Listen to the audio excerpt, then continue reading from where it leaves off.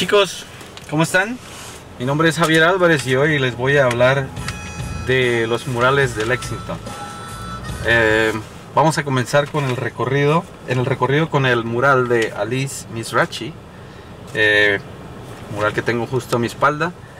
Eh, en un momento les voy a mostrar el video y vamos a hablar un poco del contenido, de la estética, del significado y un poco también del trasfondo del artista.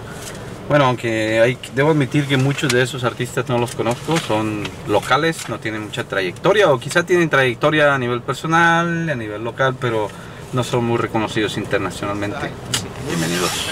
Vamos a comenzar el recorrido con este mural de Alex Misrachi, un artista local de Lexington y con este empezamos.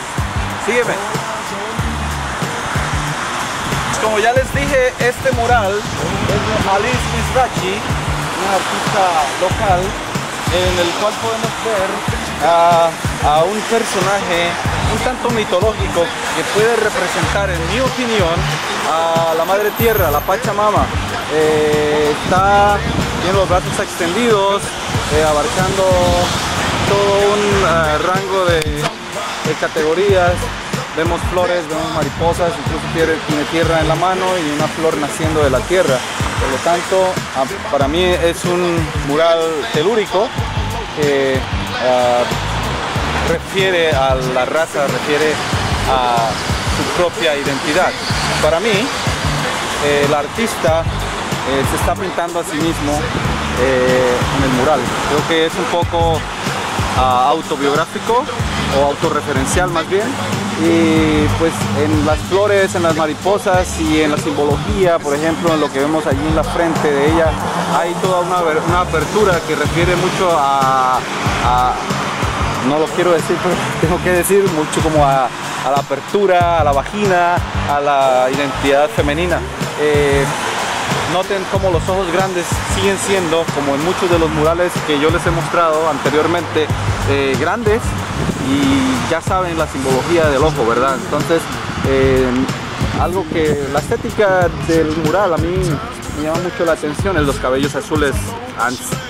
Creo que para mí es, la textura del cabello y el color que, los colores que escogió para el cabello me parecen un acierto, me parecen excelentes y, es un tanto realista también el, el color de la piel. Eh, incluso en las facciones de la cara de los dos personajes que participan o que intervienen allí en el mural. Eh, bueno, esto es todo lo que tengo para decirles. Sigamos. Vámonos. Nos vemos en el próximo. Hola, aquí estamos de nuevo. Este es el segundo de mi recorrido de hoy. El mural de Odette. Odette, toda una celebridad local eh, en cuanto a street art. El personaje que está allí, bueno, no hay que decir mucho, es Louis Armstrong, muy famoso de Luisiana, ¿no sé de New Orleans? Eh, el mural dice Love You. bueno, una cosa es verlo y otra cosa es verlo por internet. Aquí en como no sé, tiene un espíritu especial y para mí el color amarillo transmite algo muy especial que es esa, esa lo vemos en la música y bueno, no hay mucho que decir, no puedo decir mucho porque no tengo mucho tiempo, pero este mural es uno de mis favoritos. Louis. Chao. Ah, a propósito, en, es el número 7 en la lista de Adiós. Y aquí estoy de nuevo enfrente de uno de los murales más icónicos de Lexington, Kentucky, el mural de Cobra, Lincoln Memorial. No necesita presentación, ya ustedes lo conocen, su estilo muy uh, colorido, figuras geométricas. Eh, bueno, en realidad no tengo mucho que decir. Recuerden que Cobra es uno de los más emblemáticos, si no el más emblemático del Brasil, junto a Osmeos. Y bueno, Cobra no necesita presentación, lo conocen en todo el mundo, ha producido murales a diestra y siniestra, ese es uno de los que ya probablemente necesita eh, una segunda mano o una, una renovación. Eh, recuerden el caleidoscopio, su tema principal casi en todos sus murales. Eh, y bueno, esta es una, es una pieza muy valiosa para el éxito en realidad.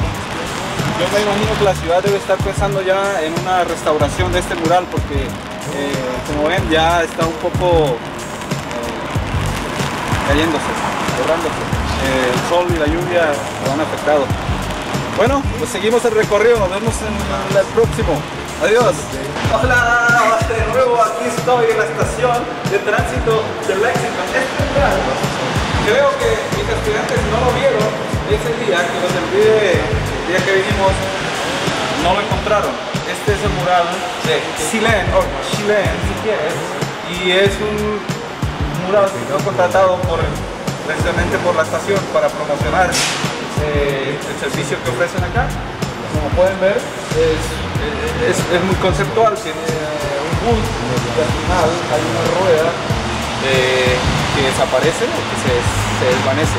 Pero también al fondo podemos ver eh, las, las, cercas que hacen referencia a Lexington y a los caballos. Eh, es un mural muy, muy colorido, muy atractivo, muy estético.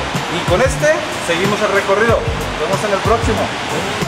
Hola, aquí vamos en camino hacia el siguiente mural y aquí al frente tenemos uno de los eh, grafitis más eh, coloridos y estrictamente graffiti clásico mezclado con mural de la ciudad. Es una mezcla de diseño la Hay referencia a todo lo que representa una ciudad. Yo veo referencias a la música, veo referencias a los caballos, veo referencias al conocimiento, a las artes. Y sobre todo veo referencias al concreto de la ciudad, los edificios que están al fondo parece que están eh, acabando, arrancando con el poco espacio verde que aún le queda a la ciudad, el cual está bueno, con eso adiós a este mural y seguimos nuestro recorrido ahora. Estamos justo al frente del mural número 15. Mural, como ya les hablé, nuestro recorrido fue hecho por Sherio and York, o York y Sherio, artistas, uno de, de Australia, el otro es de Singapur, que van por el mundo como nó- nómadas, llevan una vida de artistas nómadas y van buscando oportunidades para hacer surfing. Y bueno, una pieza de verdad internacional que como bien pueden ver eh, es una especie como de Space Jam pero con un dragón.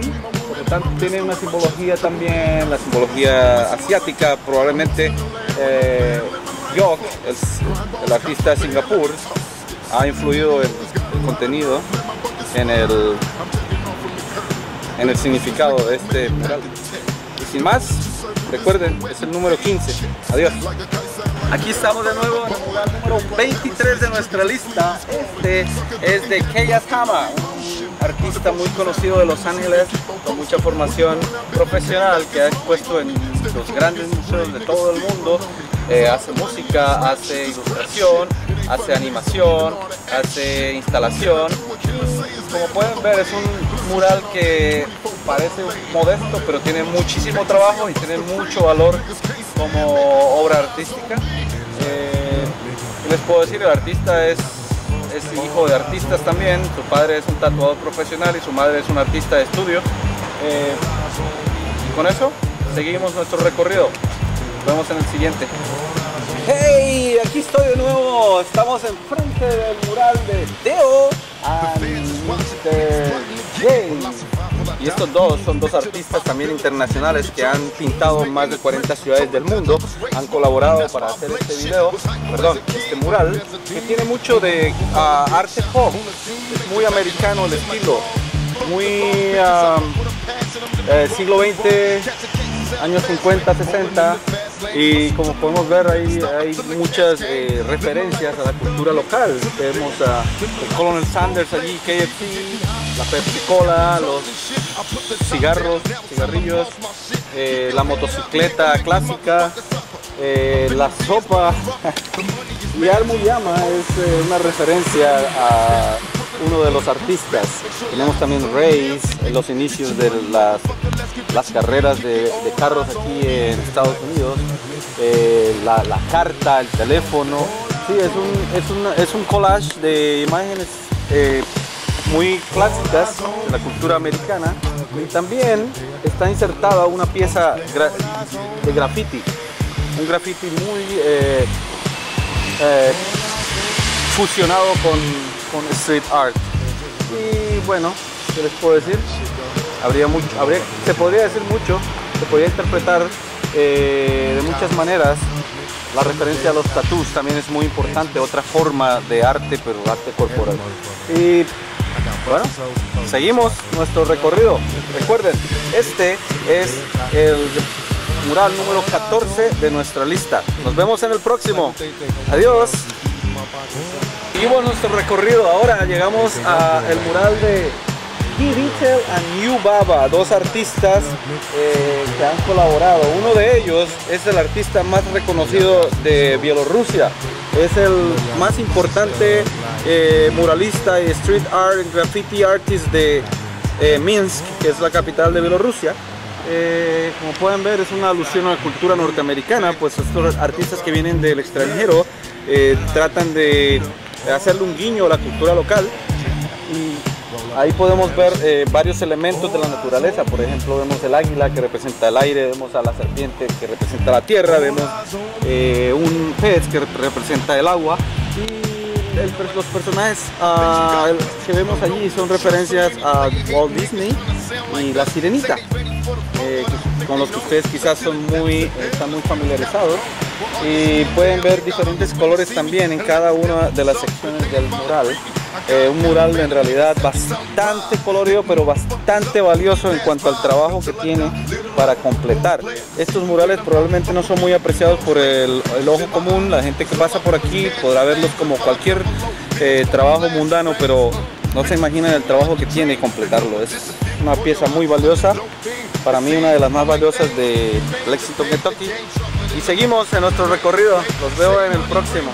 Estamos enfrente del mural de Fintan McGee, un, artista australiano que vino a precisamente, a pintar este mural escena de soledad de una pareja que está cansada de qué, no lo sé, es tu trabajo interpretar, recuerda que el arte es muy subjetivo. Y en el momento en que el artista termina su obra, esa obra cobra vida propia y nos habla a cada uno de nosotros como espectadores, cada quien tiene su... Eh, bueno, su, labor, su función de interpretar la obra de acuerdo a lo que la obra le evoca a cada espectador. Entonces, ¿qué ves tú allí? Ese es tu trabajo. Vamos a ver con qué ideas te produce el, mural.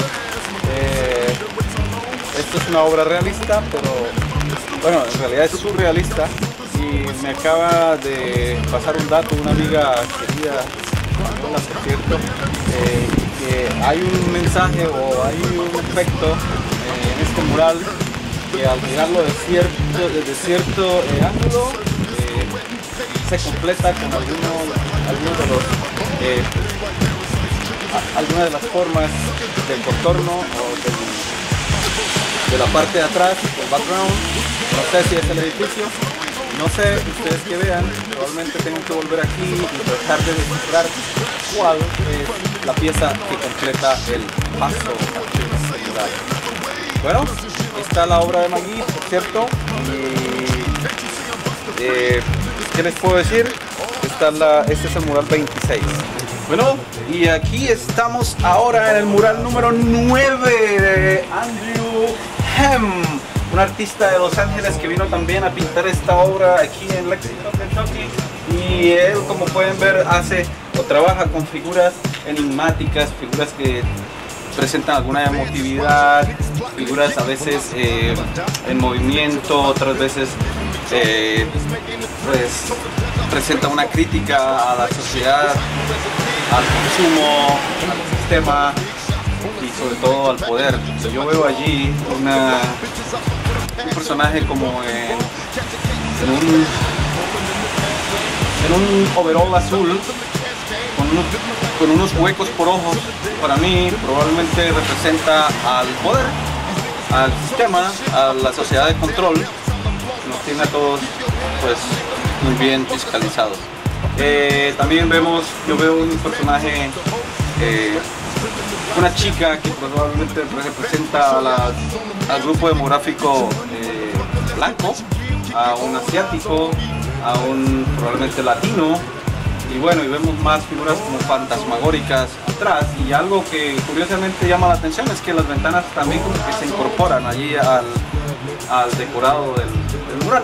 Eh, De, nuevo, su nombre es Andrew Hemp y nos vemos en el próximo. Aquí estamos frente al mural número 18 ah, de Jessica Sabogal, la artista de padres colombianos.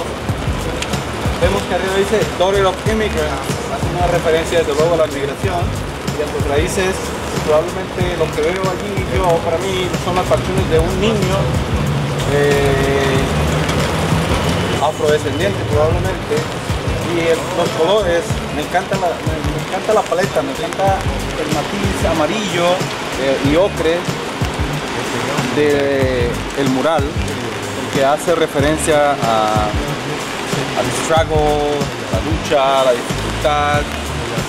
Recuerden que eh, el famoso Victor Vincent Van Gogh usaba mucho el amarillo porque precisamente en- es un asunto psicológico. Recuerden que los colores están eh, ligados a un estado psicológico y el amarillo está ligado con la locura, con la violencia. Y este artista, según parece, experimentó violencia en su niñez. Por eso sus cuadros o sus murales hacen referencia a historias que ella vivió u oyó. Y con esto seguimos al siguiente. Nos vemos. Bueno, aquí estamos frente al mural número uno de la colección de murales de Prohibition de aquí de Kentucky. Número uno del artista Flagman.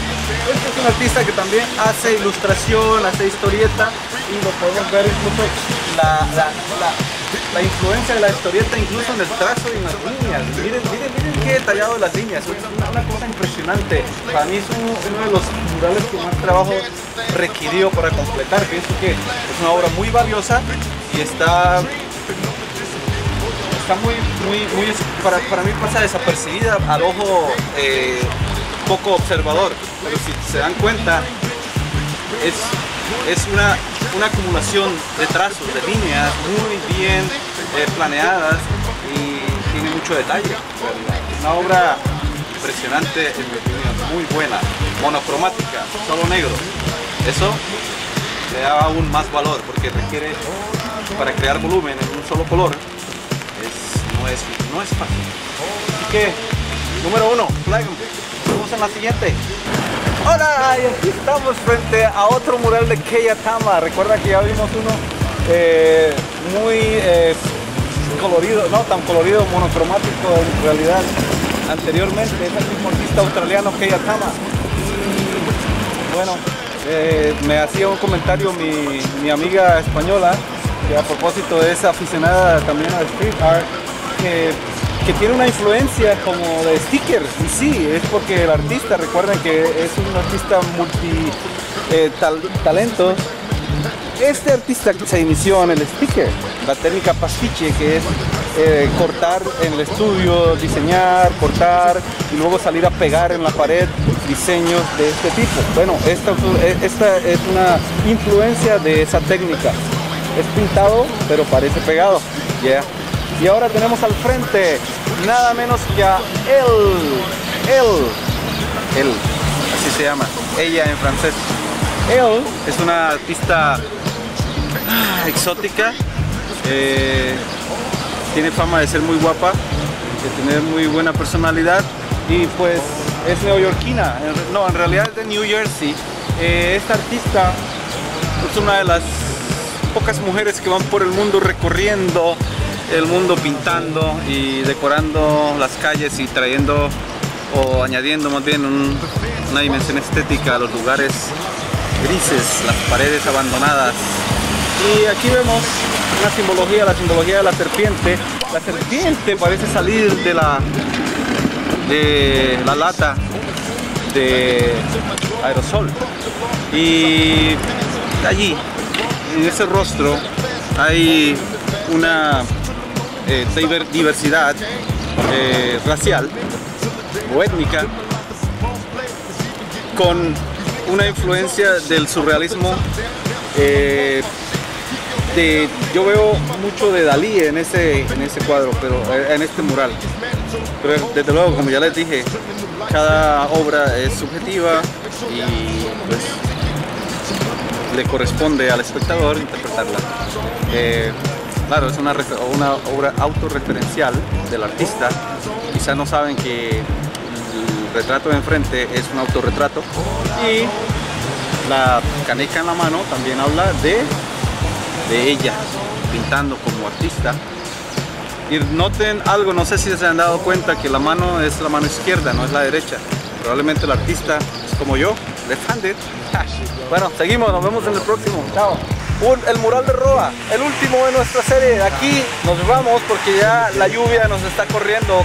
Quise hacer todo el recorrido de todos los murales en totalidad, 32, pero no nos dio, la lluvia nos dio tiempo, se está oscureciendo. Hey, la verdad, he hecho un esfuerzo grande por traerles esta estas obras a su pantalla. Y Roa, como me acaba de informar eh, una informante que tengo, eh, una buena informante, eh, Roa pinta animales nativos de la zona que evitaron antes de la llegada de la civilización a estos lugares. Y desde luego el bisonte es uno de esos animales que representa la vida primitiva del habitante nativo americano ¿cómo le llaman aquí? ¿Cómo le llaman? Eh, americano, Native American. Sí, pero, pero vean el esqueleto. ¿eh? Hace, hace referencia a la arqueología, a los, a los fósiles, etcétera, etcétera. Bueno, anyway, no, no, no, que, no podíamos dejarlo fuera. Así que es la última por hoy. Nos vemos. Que tengan un feliz día. Bueno, y aquí estamos en el mural donde terminamos el recorrido la última vez. El mural de Herakud. Herakud es una, una firma compuesta de Hera y, Kut, y Akud, que son dos, una pareja alemana que pinta, va por el mundo haciendo este tipo de eh, representaciones de figuras mitológicas. Aquí vemos una madre con dos bebés a los cuales les salen eh, ramas del cabello son figuras mitológicas, no sé, cómo le llaman ustedes, como duendes, duendecillos. Y ella también tiene un aspecto un poco fantasmagórico, es blanca y bueno, no sé qué les dice a ustedes la mirada, pero dice, it was a beautiful moment when the little giant woke up to see where dreams come from. Qué bonito, ¿eh? Eh, bueno, no necesito interpretarles o traducirles lo que significa, pero bueno, basta decir que, tenemos dos obras de, este, de estos mismos artistas aquí en Lexington. Bueno, y con esto terminamos el recorrido. Nos vemos la próxima. Adiós.